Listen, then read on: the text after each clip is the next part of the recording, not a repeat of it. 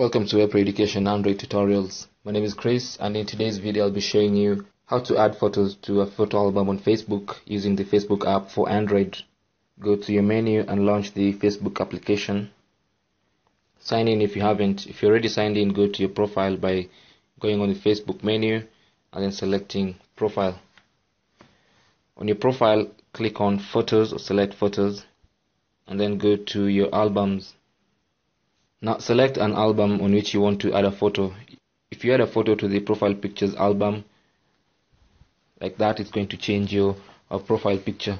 If you add a photo to the cover photos album, it's going to change your cover photo as well. So you need to find an album that just has photos. For example, this one, mobile uploads. You can select it and then select add photos. And then you can choose photos from your gallery. You can choose as many photos as you want to add. And then select done. And that photo will be added to your gallery. You can also say something about that photo if you want to. And once you're done, select post at the top. So that's how you can add photos to your photo albums on Facebook using the Facebook app for Android. Thank you for, for watching. If you have any question or comment, leave it in the comments box below this video and don't forget to subscribe. My name is Chris from webproeducation.org and I'll see you guys soon.